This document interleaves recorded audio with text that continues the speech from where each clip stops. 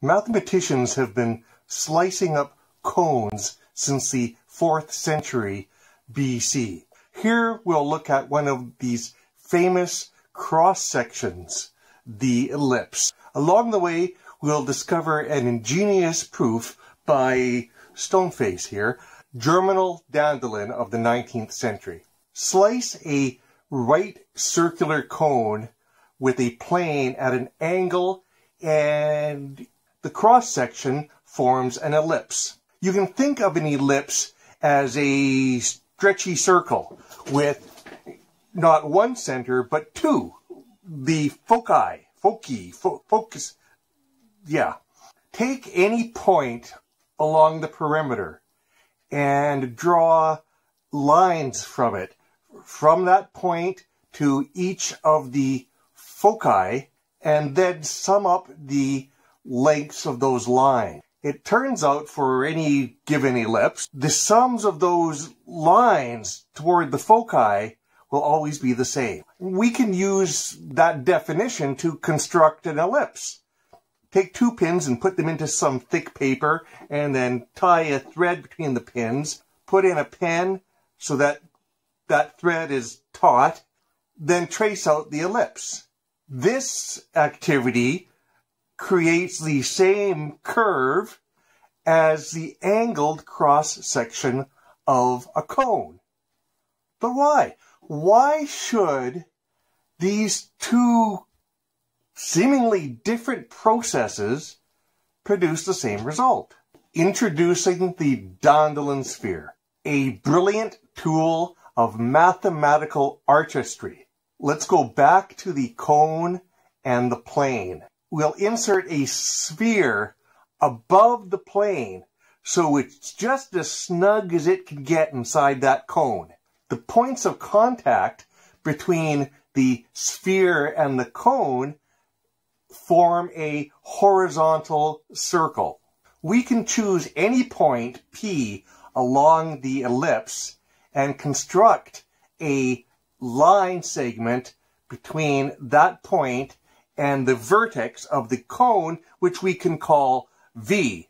That segment, PV, will be tangent to the sphere at a point which we will call F1 prime.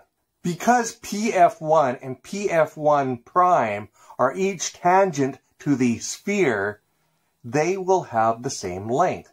Just as any two line segments drawn from some point A outside of a circle, where each segment is tangent to that circle, those segments will have the same length. Now let's remove the plane for clarity and the, the sphere and put a new sphere underneath the ellipse. It will also touch where the plane was at some unique point F2, which is within the boundary of the ellipse. Extend the segment PV until it meets that lower sphere.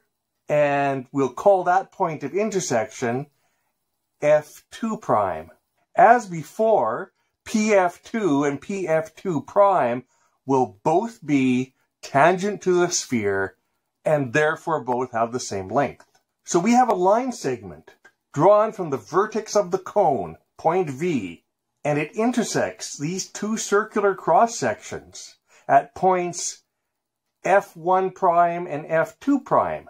That line segment intersects a tilted plane at some point P. And the position of point P along that line F1 prime, F2 prime is going to vary depending on where we draw that line. But that length, f1 prime, f2 prime, it's always going to be the same. But those two points correspond to f1 and f2, which are the focuses of the ellipse. Therefore, wherever we put the point P, when we draw a line segment between that point and both of the focuses, foci, the sum of those lengths will always be the same. Bob's your uncle. If you enjoyed this, give it a thumbs up and uh, check out some more exciting content. Bye.